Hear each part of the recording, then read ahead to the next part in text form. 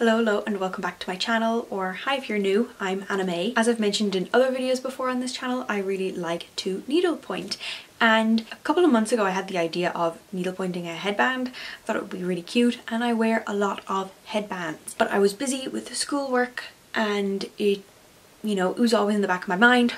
But then I'm done with school now, but we're still locked down here in Ireland. So I decided to get all of the, I was gonna say ingredients, the bits together to try and needlepoint my own headband. As you may have noticed, I'm actually wearing it today. It turned out really, really well and I posted a photo of it on Instagram. If you're watching this, you probably already follow me on Instagram at AMK Needlepoint. My main Instagram is at AnnaMae by Design, but I posted a photo of this right before on my story before going to bed one night um, a couple of days ago and because it was almost done and I woke up and it was so confusing. I had over 20 messages and I don't have very many followers. Like I have over 600 followers in that account but I didn't realize people were so engaged and a lot of people asked for a tutorial so here it is. I considered adding this to my shop, but it's just not something I can really take on board right now. I'm looking for a job. I'm really hoping to get a job.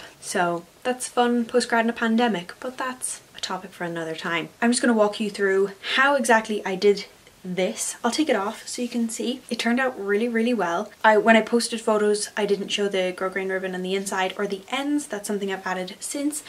But yeah, I'm hopefully going to add some other clips in on top of me talking, showing kind of how I did it. I have a couple of clips that I recorded after people started to ask for tutorials because I wasn't recording the whole process beforehand, but I have photos and videos that I can insert over me talking and a couple of things I can show you. So, sorry for the super long intro, let's get into it. So, the basics. What do you need for this project? It obviously depends on what exactly you're gonna stitch onto the headband. This I wanted to be like a winter, like an autumn winter wool looking headband. And that's what I got. So I stitched this on 10 count interlock. So interlock, um, it seems to be much more popular over here in Europe. It is sometimes known as interlock, sometimes known as twist, and it was 10 count because uh, that's what I had scrap. I am one of those people who leaves no piece of canvas behind. So I had saved a long strip and I was like, this will work for something. And it did. So I used 10 count interlock and then for this particular pattern, if you want these exact colors, I'm going to leave the DMC wool numbers down below. I'm someone who cannot go into store and purchase things. I would obviously support a local needlepoint shop if I could, but I I don't know if you've guessed by my accent, I'm from Ireland and I live here. I am completely Irish. Um, I actually used to live in the United States. I actually used to live pretty much around the corner from Annie's, like needlepoint and yarn store in New York City. So that's cool, but now I live here. So I have to purchase all of my stuff online. These were kind of the colours that I was able to put together best online. I only needed one skein of each. I bought two of each just to be safe, but for this gingham, four colors. Then of course you're going to need a fabric covered headband or just a headband in general. For this particular design you can see it's a bit more padded. I have a headband that is kind of similar to this that I would just show you. Um, it's one that has a little bit of padding and it's a little bit rounded. This one is from another shop. It was a headband I actually purchased from ASOS.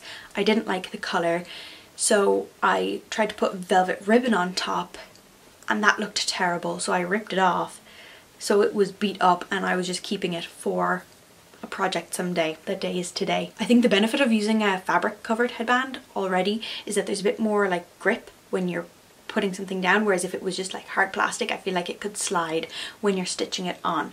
So that's my advice. Although I will be hopefully stitching another headband that's much larger and it's just going to be on plastic. So whatever you have, whatever works. Just kind of maybe use a headband you don't really like if you already have one. Then of course a hot glue gun, that's something that you only really need for the end stages of things. Some pearl cotton, and this was a real hack. Pearl cotton is what you're going to want to use to stitch and some grosgrain ribbon. I think the one I have is about 0.75 of an inch. What you really need is just something that'll cover the leftover canvas in the inside and just so it won't like rough up your hair. So obviously the first thing you're going to want to do is stitch on your canvas. So if you have some design that you already have, I'll insert here, sorry about this paint on the wall, that's from me stretching while holding a paintbrush. Um, this is the gingham that I used. I just kind of made it on MacStitch, but um, this is not like how wide it was or anything. I don't have exact measurements for how wide you're going to want it to be. You want it long enough to cover to like wrap around most of your headband and wide enough to cover it completely. I'm going to take this off. So as you can probably tell, I can hide things in my hair. It's full. So I knew that like finishing in the edges was not going to be massively important for me because I don't straighten my hair very much and it kind of just like nestles in there. So you wouldn't really be able to tell, but maybe if you have straighter hair, you might be more conscious of that. But I don't really know how to fix that problem apologies. My canvas does not come to the end, but it wraps fully around in the inside. That was something I was very conscious of. I wanted it to fully wrap around to give it a more like puffy look. One thing I considered doing but did not end up doing, as you'll see from this photo that I took, I was posting on Instagram. A lot of people thought it was a bookmark, um, but I was asking people to like guess what it was. I did not taper the stitches even though the headband tapers. It was just going to be too confusing and I wanted to ensure it had full coverage on the edges. So I just decided to have extra canvas in the middle and then have the stitches fully wrap and like come into the inside under here because it was just going to be like too much like maths for me so we didn't do that but that part is pretty simple. So then when it comes to actually attaching it to the headband, I did not use anything to like stick it on to the headband originally. I just stitched it on because it was wool so it had kind of a grip and it was on the fabric so it just kind of stays in place. So I found the center of the strip of canvas I had stitched and I found the center of the headband and I just put a pin and just stuck it the whole way through to keep it kind of level. Then what I did was I actually used doubled over pearl cotton to stitch it. So I'm going to insert a clip over me talking if I can of what it looked like. So I just stitched it in and looped it around to kind of lock it in. Um, like threaded it through the loop and pulled it really really tight but I found that the pearl cotton held it really really well I've used like polyester thread to stitch things before and I actually ended up cutting myself so I'm not a fan when you want something to be really tight. I think the pearl cotton works really, really well.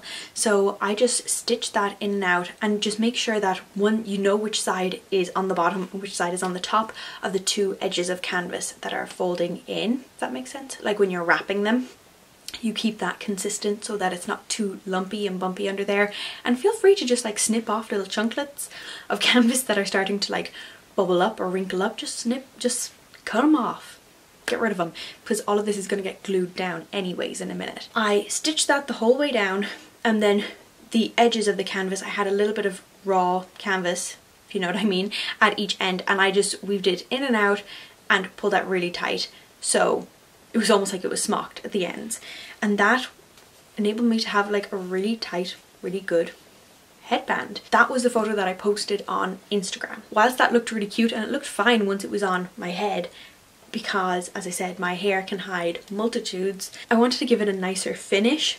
Um, still not a perfect finish but like good enough for me. I grabbed some grosgrain ribbon. I used to sell hair bows so I have quite a collection of grosgrain ribbon and I got this nice like warm cream and it happened to be this particular set of ribbons that I have happens to be perfectly sized for this headband. So the first thing I did was glue down piece of grosgrain that covered all of the rough stitches and I really went to town on that hot glue. I wanted this it to kind of not only be sticking the ribbon down but to keep everything in place in, in case like some of the canvas was to snap and then everything would come loose. So everything is really stuck down there. Then of course I wanted to have like little ends on it because as I said there was raw canvas so what I did was get the grosgrain and have it come past the end and glue it on the outside and then take little strips and wrap them around and glue them in the inside. So I'll give a little close-up clip of that, what that looks like. And I think that's a really neat way of finishing the edges.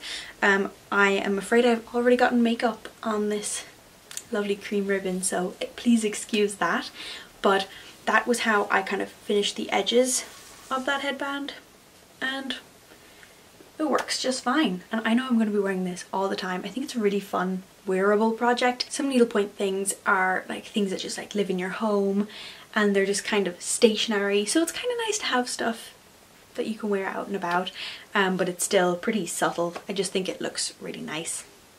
And it's kind of fancy, you know? So hopefully that made things a little bit more clear. If you were curious about trying to make your own, I'm definitely going to be making more because I think they look really, really cute. If you have any more questions, feel free to message me at AMK Needlepoint or just leave a comment down below here. Subscribe to my channel if you want to see any more of my content, but that's it for now.